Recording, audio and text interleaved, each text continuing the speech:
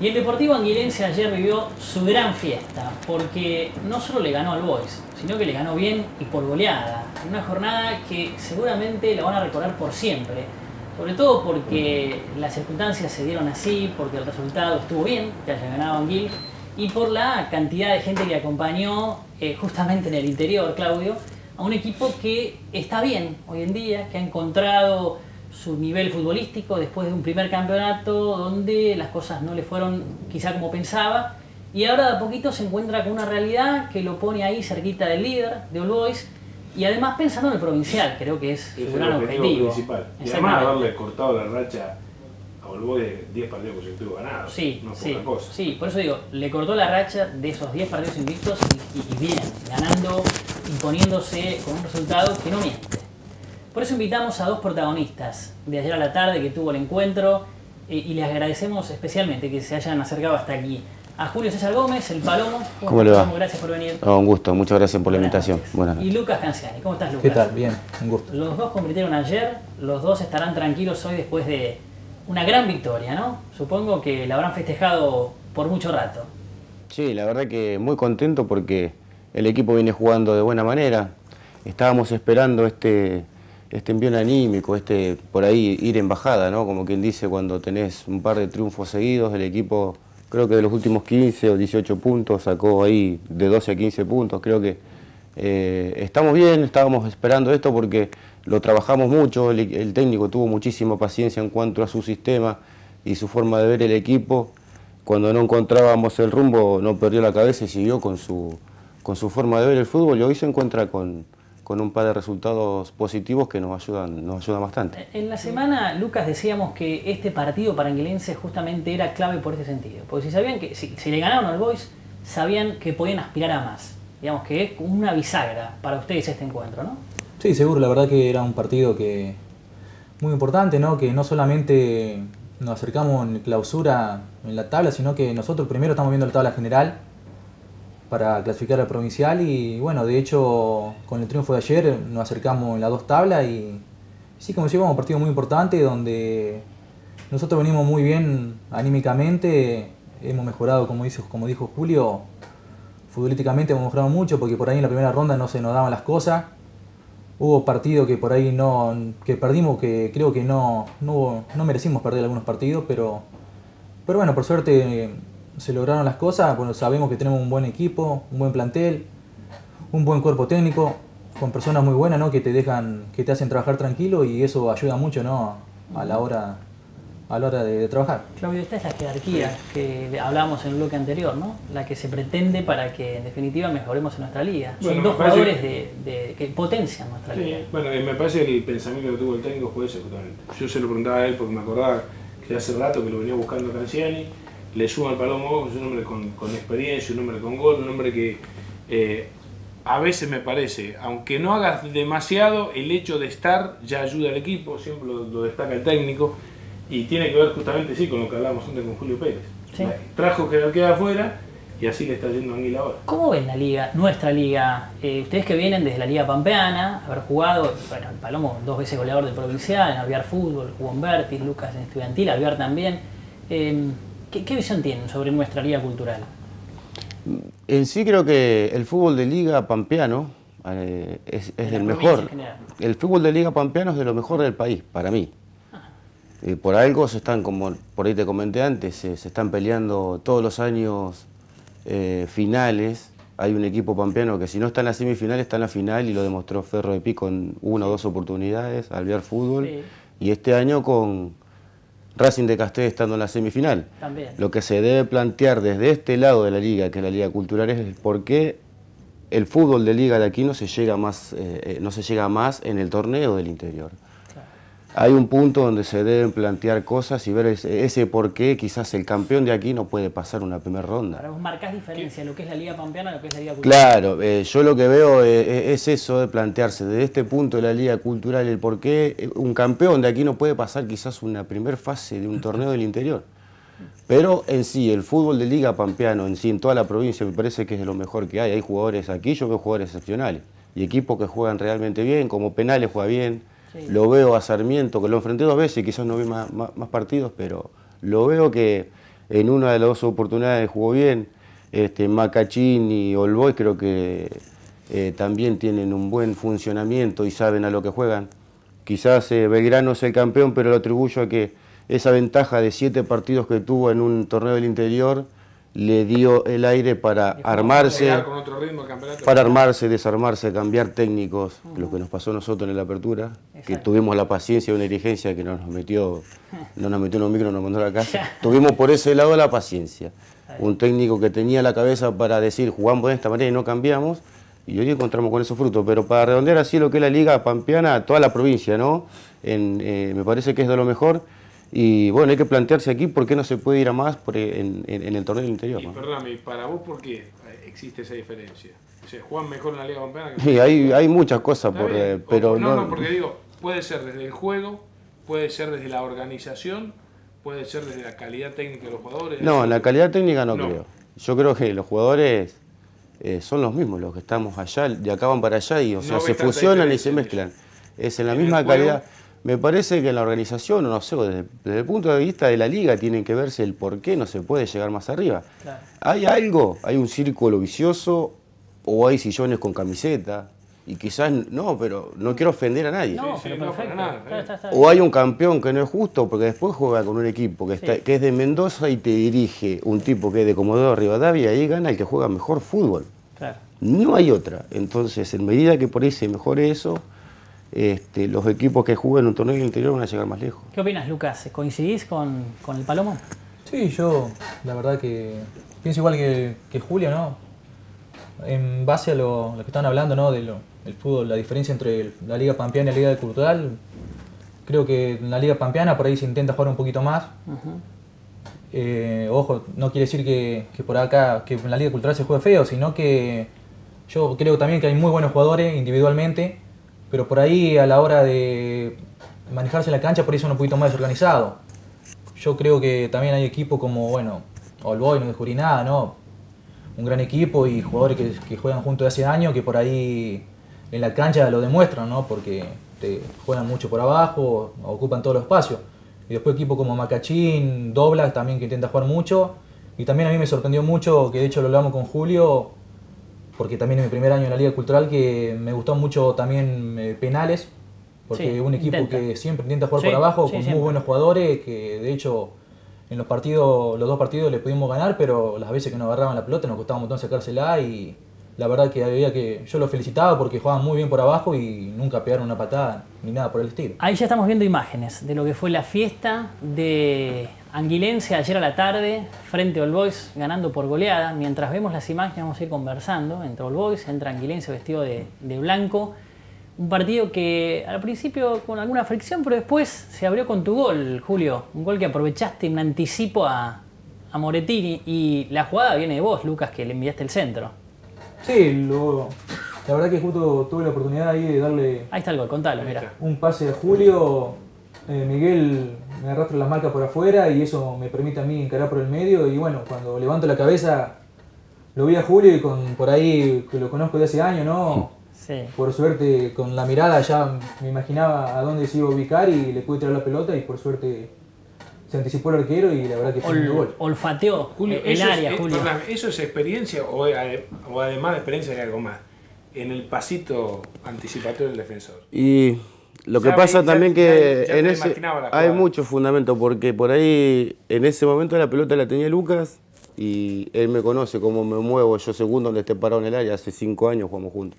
Ya sabía. Y él, ya te adelantaste sí, sí, sí, automáticamente me moví ahí. Bueno, él tiró donde yo sabía dónde iba, a moverme. Esa pelota que pierde Cejas, qué bien está jugando Cejas, ¿eh? Sí, muy bien. Muy bien, la verdad que... mano a mano. Y después esta que también eh, Lescano la pierde. Eso es el cierre del primer tiempo. El perro fue protagonista también, ya lo mostramos. Tuvieron que sacarlo porque quedó el partido parado un rato. Lo pierde. ¿Mm? Era el segundo tiempo y era el empate. Y ahí viene una jugada polémica. La expulsión del Escano. Sí. que no parece en absoluto que fuese ahí viene, para tarjeta. Ahí la repiten para verla. No, no, fue exagerada la expulsión de Machi a, ese jugador. Fíjate la, repetición. Lo toca de atrás. A Lucero, a Jeremías, pero no da la sensación de que... Yo estaba cerca y verdaderamente te digo que ni, para mí no lo toca. ¿eh? Eso podría haberle complicado la... Es que ponele, es que lo que yo te decía antes, Ahí vos está el ponele... segundo gol, disculpame Sí, Julio, está bien. y ahora la seguimos. Román, que para mí, habilitado, lo hace muy bien, el amague. Sí, sí, sí, sí. Y ahí está el hijo de Julio Pérez, Nahuel, ¿eh? para convertir. Decía en la cancha se la pichuleó a Román. Román quería definir, pero estaba ahí él, pide- ahora- mejor ubicado. Mira, le pide disculpas. Pero además el festejo de, de Nahuel que recién había entrado. Sí. Primer pelota que toca. Y Está bien Julio como goleador, ¿está bien lo que hizo? Sí. Que la jugada era de Román, él la quiso No, está bien, está bien. Está bien porque tiene dos jugadores que pueden, que pueden eh, tapar la jugada y evitar el gol. Eh, Sí. Él estaba más cercano y entró. Sí. Además de todo se lo merece Nahuel porque estuvo entrenando más de un mes y medio, dos meses con nosotros, no porque esté el padre acá, Sí, sino que estuvo entrenando con nosotros y él sabe, yo lo he hablado. Le deseo mucha suerte veía, ¿eh? Porque entrenó y bueno, ahora tiene su premio, igual que otros jugadores Claro. más. Ahí está la expulsión de Juan Cruz Basalo con pierna arriba. Yo creo que intenta sacarla la pierna. De todas maneras, eh, Machi, eh, bueno, lo castiga con roja directa. No tiene que levantar la pierna así, eso está claro, ¿no? Después quiere sacarla. Se solucionaba con amarilla. Y O era yo más creo justo una amarilla. Ahí está, No el, se ahí solucionaba. está un golazo, mira. el Rata que en tres cuartos avanza. Un pase bárbaro para Lucas Canciani. Qué definición, Lucas. Qué gran definición, qué buen gol, ¿eh? Lo viste que se te venía. Sí, la verdad que la manejó muy bien el Rata Vera, ¿no? Mm. Yo me imaginaba, presentía que me iba a dar el pase hacia adelante cuando achicaba, creo que era Moretini. Por suerte me, me cayó justo, la pude levantar, ¿no? Porque sabía que el arquero me iba, me iba a tapar todo el arco, porque por ahí la pelota se me puede ir- se me podía adelantar bastante y bueno, como me estaba, como quedó en el aire la pelota, intenté tirársela por arriba, por suerte salió, ¿no? Y Mm. para, para cerrar un, un buen resultado. No bajaba más. Me da la sensación que no bajaba la pelota. Sí, la verdad que yo pensé que no entraba, o por ahí pensé que iba a pegar en el. que por ahí picaba y la pelota iba a pasar por arriba del trasaño, pero por suerte, por suerte entró y se pudo, pudo festejar. Yo les digo, la verdad que eh, las caras de felicidad que vi ayer a la tarde, pocas veces, ¿eh? Eh, porque la felicidad de un pueblo es lo que hablábamos hoy. Es la, es la- es la felicidad, sí. Es la primera victoria inglesa. Sí, todo. yo no encuentro registro, los dirigentes me podrán decir, pero eh, estoy casi convencido de que en los últimos tiempos, de acuerdo a lo que yo llevo registro, Anguilense All Boys no. Es más, en los últimos enfrentamientos solo un empate, de los últimos años en que, desde que llegó a primera, ¿no? Después nunca una victoria así tan amplia. Por eso digo, los rostros de felicidad. Gente que yo me acercaba y hasta el punto de las lágrimas, porque, bueno, es la emoción que le entregan este grupo de jugadores a un pueblo que vive el fútbol como cualquier otro pueblo, pero que además con ese entusiasmo de ser protagonistas, ¿no? Sí, la verdad que la gente estaba muy contenta y esperaba un triunfo ante un grande como lo y gracias a Dios se lo pudimos dar de local, el equipo jugó bien, lo disfrutó, así que estamos muy contentos por eso, la verdad que sí. Julio, yo te quería preguntar, Andu, fuiste un poquito trotamundo Sí. en el ambiente del Sí, fútbol, sí, fuiste sí. por muchos lugares, muchos países. Eh, ¿Cómo lo seguís viviendo el fútbol? Ya con tantos años. De la, Eh, te lo, ¿de te la lo- misma manera? sí, te lo puedo asegurar que de la misma manera, no podría vivirlo de otra forma.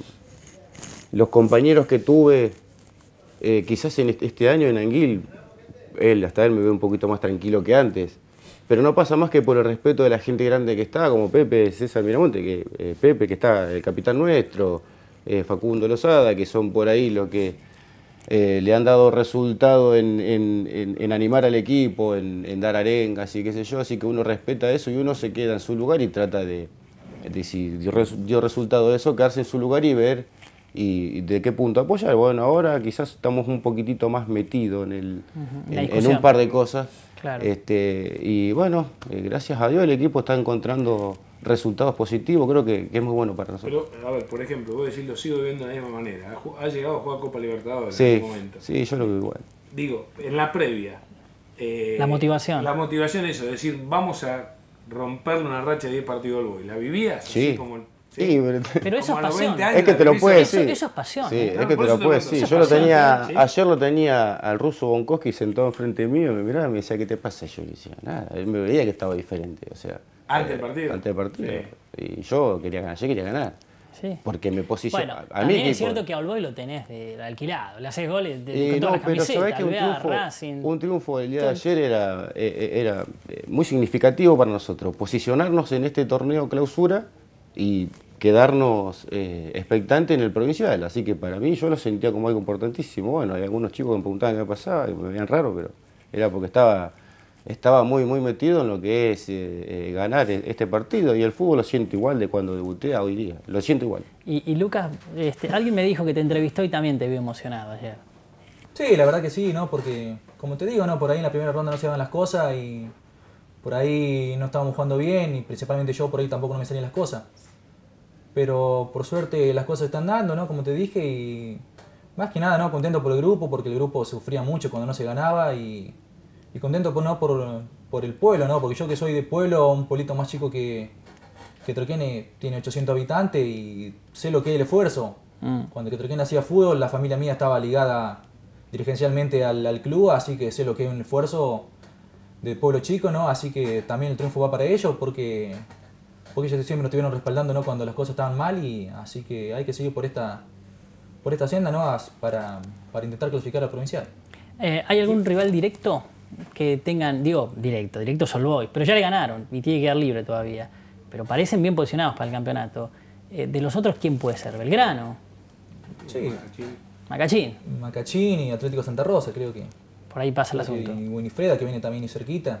Por eso el domingo ya hay que olvidarse, ¿no? De, bueno, disfrutar el triunfo este ante el Boy, pero ya pensar en el domingo, porque el domingo ya va a ser un partido dificilísimo, que si lo perdemos, creo que de nada va a servir la victoria de, claro. con el Boy. Seguro sí, sí, es así.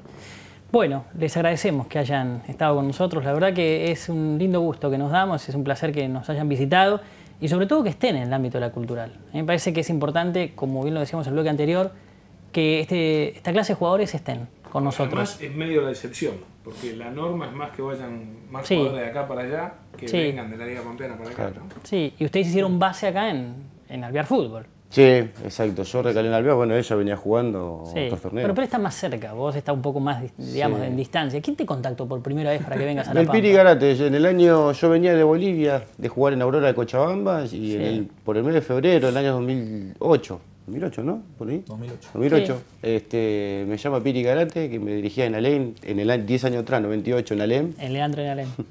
y me dijo dónde estaba, si estaba jugando, y me dijo, no, le digo, ahora estoy eh, acá en Buenos Aires, me dice, bueno, venite a La Pampa, ¿te parece? Bueno, y así caí en, en Alvear, que estuve tres años y medio, cuatro. ¿Y vos jugaste en la Casa Blanca en, en, en, Barcelona. No, en Liga de Quito. En Liga de Quito, Liga de Quito. Uno de los mejores estadios que jugué, sí. Ahí hiciste uno o dos goles en un partido. Sí, 3 a 3 fue. 4 a 4. 4 a 4. También un 4 a 4 jugamos 55 minutos de segundo tiempo, imagínate. ¿Y ¿Cómo iban ganando? Ganábamos 4 a 1. Hiciste dos goles, pues en un lugar que es la... Así que imagínate, viste la injusticia de todos lados. ¿eh? Ah, de todos lados. Sí. Y no es para tirar palo ni nada, pero ahí estás hablando de un fútbol profesional. Y acá creo que, como te decía antes, para mejorar me parece que tiene que empezar a ganar, o tiene que empezar a dejar a ganar el que juega fútbol. Y, del tema arbitral creo que ahí hay que empezar a castigar al que no quiere jugar, entonces así se maneja, algo así se mejora, mejor dicho, el fútbol. No pasa por las canchas, ¿eh? y ni por los jugadores, pasa por saberlo dirigir. ¿Las canchas más o menos en un fútbol regional las encontrás así también? ¿En otros lados? Eh, sí, en la Yo cultural... me preocupo mucho, porque a mí, me es una cosa que es como que insisto. No, no, pero en la cultural también hay canchas malas, ¿eh? hay canchas malas en la cultural y Berti la tenía, y la mejoraron, ah, pero por eso mismo ahí está eh, lo que veníamos antes, acá el jugador se adapta y juega en el terreno que esté, pero si, si las cosas son justas, viste, ya cuando empiezan a ver cosas mm. que no van, viste, el fútbol pasa a ser otra cosa, pasa a ser pata la piña. Y te gana un equipo que no te tiene que ganar en ese día. Y un equipo como Anguil que apuesta, que tiene jugadores para ir a más, se, queda con tres puntos menos. Hoy dos puntos menos mañana. Este mismo árbitro, me parece que dirige muy bien. Pablo Machi. Pero a los 48 minutos con Winifreda nos cobra un penal. Hoy, para la tabla provincial tenemos dos puntos menos, que son importantísimos para nosotros. Sí. No sé. Hubiese cambiado esa historia ayer si. Bueno, en la jugada siguiente de la expulsión hubo una jugada después de Claudio Bello que estaba amonestado, que merecía amarilla y no lo expulsó. Y ojo, que después la gente dice que uno llora, que Guanguil llora, pero es la realidad de las cosas. Nosotros nos hacemos cargo de los 100 puntos que perdimos como jugadores de fútbol y como equipo. Claro. Pero hay 6, 7 puntos en el, tantero ahí que, que yo siento que me los quitaron. ¿Hay premio extra? ¿Hubo premio extra, Lucas, con los dirigentes? Eh, hubo, un asado, hubo un asado, así que. ¿Cómo un asado? nada, contento, ¿no? Porque el grupo está muy bien, así que por suerte se pudo disfrutar de la victoria. Eso fortalece, ¿no? El grupo, los asados, las reuniones. La ¿eh? verdad que hace muy bien y gracias a Dios, como te dije antes, tenemos una dirigencia que nos supo aguantar, eh, esperar el, viento a favor, un técnico que tuvo mucha paciencia y bueno, y un grupo que no se desarmó nunca, ¿eh? Más allá de perder, el equipo, el grupo estuvo siempre fuerte, con buena gente y eso es importante. Gracias, chicos. La verdad, un placer gracias a ustedes. Muchas nos hayan visitado.